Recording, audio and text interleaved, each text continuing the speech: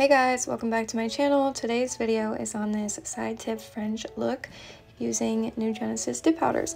The colors we're using are Forget Me Not, Lilac Gray, and Bamboo Green, as well as Sparkling Coast Shimmer Clear.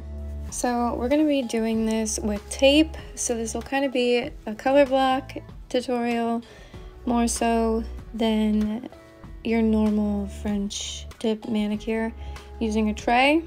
I'm too scared to dip my fingers into dip powder and hope for the best and hope that the side line would be crisp. So I'm just gonna do the cheaters way and go in with some tape.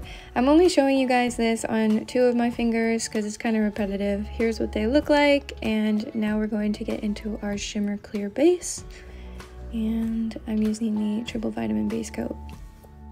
Okay, so I'm gonna let you guys just watch because I'm just gonna be applying this base two times and then we will be getting into the colors. But before I go, I was just wondering, do you guys prefer when I let you just watch and I don't talk or would you rather I fill these spots with me talking? If you would prefer me to talk, then could you please leave some comments below about what you want me to talk about? It could be anything. It could be my life. It could be dip. It could be Instagram, YouTube, anything like that. Let me know. Okay, enjoy. Love you. Bye. See you in a second.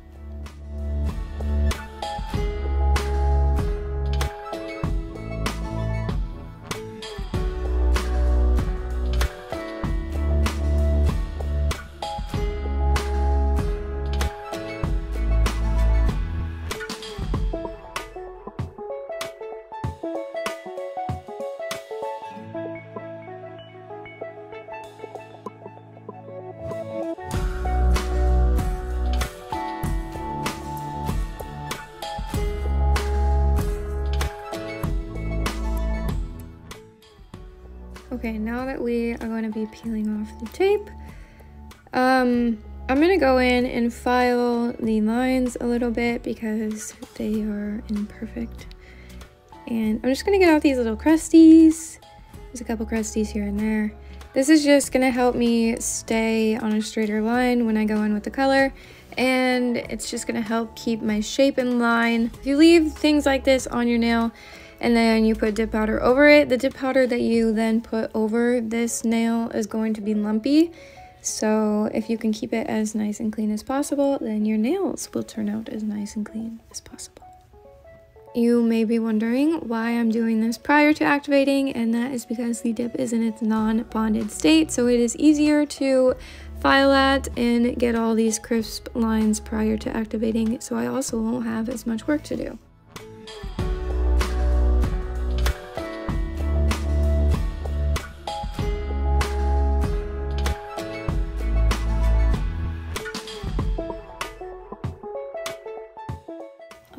Alright, now for the fun part, we're to go in with the liquid and I'm to line it right up to that line that we have there made for us, which is pretty nice and easy to follow. Just try not to get it over the line. And the first color that we're going to be dipping into is Forget Me Not. Again, these are from NuGenesis Dip Powders, and these colors are from their new spring and summer collection. They retail for $25 and they are two ounce jars. Unfortunately, these colors only come in two ounces, so $25 is your price point for one of these jars. They do, however, have one ounce jars on their website, and those are $14. So I think their price point is pretty normal. They are the same price range as Revel for one ounce and two ounce dip powders, so I don't think they're very expensive. You're getting double, triple the amount that you normally would with a half ounce jar. So I think the price point is perfect. It's right where it should be. And yeah, I really like these powders. I just wanted to give NuGenesis a quick shout out because they did send these my way. So this video would not have been possible without these products. So thank you again. And I hope you like the look I created. If you're even watching this, hi, NuGenesis. All right, that's enough babbling for me. I'm gonna let you guys watch this process and I'll be back in a little bit. Enjoy.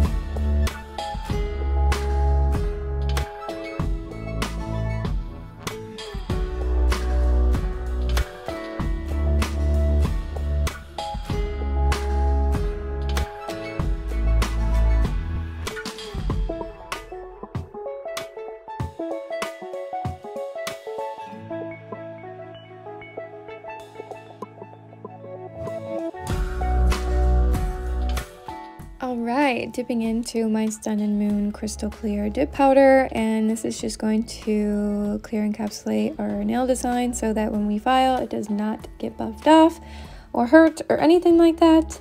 So after I apply this, I'm going to brush off and apply activator and then we are going to buff and file.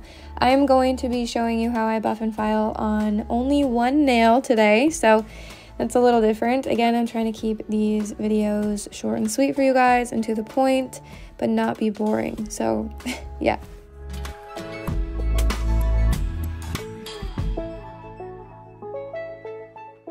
I'm using the Virgo and Gem activator today. And then after this, we're going to file. The file I am using is the Beauty Secrets 100 grit file. And then I'm going to buff I'm using a buffer from Amazon. I'll link it in the description box below. And after that, I'm to do top coat. The top coat I'm using is my Valentino Beauty Pure Base and Gel top coat combo. And I'm obsessed with that combo, guys. If you're in the market for a top coat slash base, then I would definitely recommend these. The shine is freaking immaculate, and I am hooked on it, even though it takes a little bit longer because I do add the base prior to adding the top coat. It's fine. It's worth it. It's glossy. It's beautiful. It's drool worthy, I promise. And it's so worth it. But yeah. So I'm going to do that. And then I'm going to apply cuticle oil. But I'll come back for that part. You guys should take a shot for how many times I just said it's worth it. It's worth it. It's worth it.